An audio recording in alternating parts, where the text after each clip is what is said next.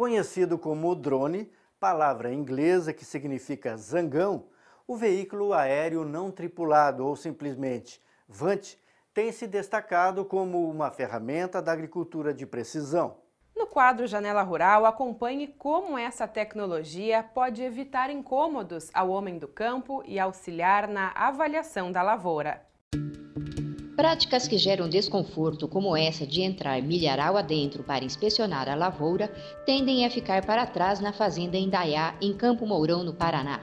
A fazenda é base de uma unidade piloto da rede de agricultura de precisão, liderada pela Embrapa Instrumentação. Conveniente de entrar no meio da lavoura mesmo, né? Que né, a gente está vendo a lavoura agora nessa situação de pré-pendoamento, né, onde que ela está soltando pólen para fazer fecundação para a gente gerar uma espiga com qualidade. Com isso causa uma certa irritação, né? Assim, mas é um, um, incômodo, um incômodo, na verdade. O produtor high-tech aposta em ferramentas da área da robótica, da informática e da instrumentação tecnologias embarcadas no mais novo aliado do homem do campo, o veículo aéreo não tripulado, VANT, também conhecido como drone.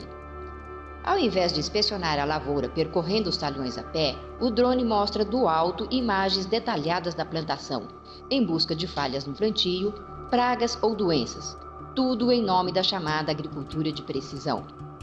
É com esse novo olhar que a Fazenda Indaiá pretende vistoriar a lavoura, com a ajuda da Embrapa Instrumentação, a fazenda de 875 hectares vê no drone uma forma de ganhar agilidade, evitar incômodos e acelerar os resultados. Quando que tem uma cultura instalada de milho, assim você não consegue entrar é, muitos metros até chegar ao centro do talhão fechado, ou ter um né? monitoramento geral do talhão. Uhum. E com o auxílio do drone, é, eu vou conseguir ter um, um monitoramento amplo da, amplo da, da área e com mais definições para as tomadas de decisões mais, mais certas. Vão ser mais precisas. Mais precisas, com certeza.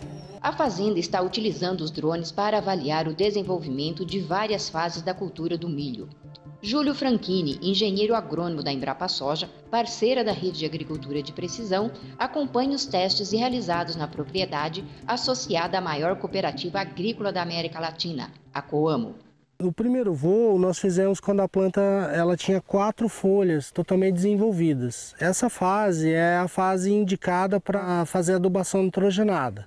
O nitrogênio é importantíssimo, né? Então é exatamente nessa fase aí que é definido, né? Quando você faz a aplicação de nitrogênio, nessa fase, porque é quando a planta define o número de espiga, o número de linhas por espiga, o número de grãos por espiga. Então é nessa fase que é importante fazer a aplicação do nitrogênio.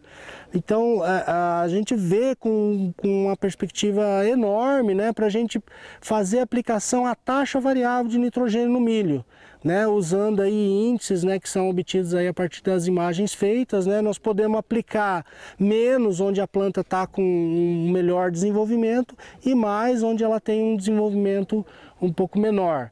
E com isso a gente conseguir aumentar o potencial de produção do campo como um todo.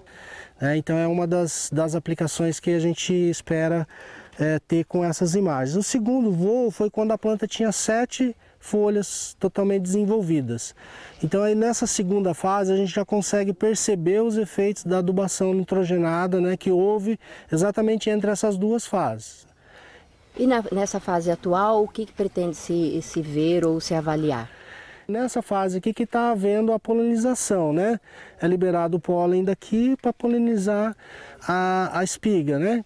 Então, nessa fase, nós, é, é o monitoramento contínuo né, da cultura, onde nós vamos é, complementar as informações que já foram obtidas nas fases anteriores. Do ponto de vista técnico, nós não temos mais intervenções a serem feitas. Embora a gente possa ver aqui, por exemplo, a ocorrência de pulgão na cultura, a ocorrência de doenças foliares, né? A gente tem expectativa que a gente possa detectar é, é, a ocorrência dessas uh, doenças ou pragas nessa fase aqui também do, do pendoamento. E você acha que o drone é uma boa ferramenta para ajudar o produtor rural nesse sentido?